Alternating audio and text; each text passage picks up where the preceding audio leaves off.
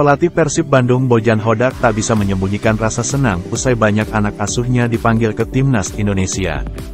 Persib Bandung menyumbang tiga pemain ke Timnas Indonesia untuk kualifikasi Piala Dunia 2026 melawan Irak dan Filipina.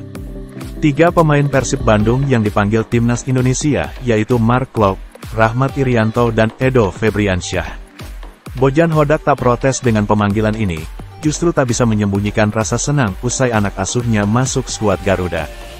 Hal ini menarik karena sikap Hodak yang sangat berbeda dengan sejumlah pelatih yang berkarir di Liga 1 lainnya.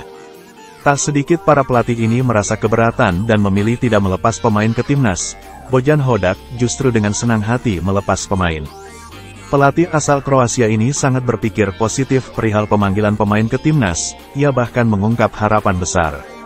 Ia menanti peningkatan performa anak asuhnya sekembali dari membela timnas Indonesia di kualifikasi Piala Dunia 2026. Pemanggilan pemain ke tim nasional tentunya bagus untuk klub, ucap Bojan Hodak seperti dikutip superball.id dari laman resmi klub. Sebab, ketika bermain di pertandingan internasional, pemain akan menjadi lebih baik. Pemain berada di level yang lebih tinggi. Jadi ketika kembali, mereka berkembang dan jadi lebih baik, terutama dari pengalaman. Jadi bagi klub ini bagus, imbuhnya.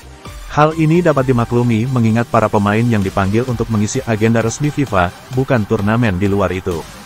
Seperti misalnya Piala AFF, tantrumnya para pelatih klub Liga 1 soal pemanggilan pemain sering kali muncul jika untuk berlaga di ajang ini.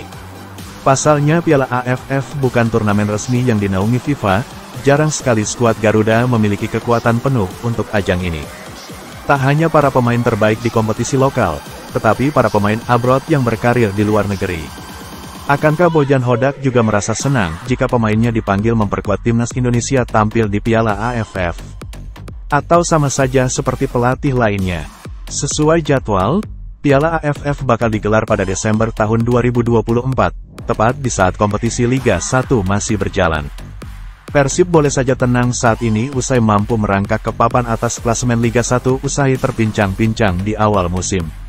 Maung Bandung saat ini berada di peringkat kedua klasemen sementara dengan mengumpulkan 34 poin. Terpaut 4 angka dari Borneo FC yang bertengger di puncak klasemen dengan torehan 38 poin.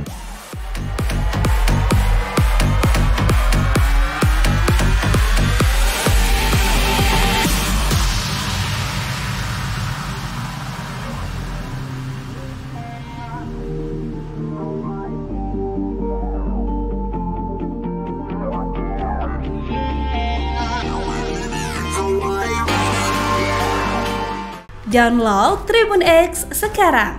Menghadirkan lokal menjadi Indonesia.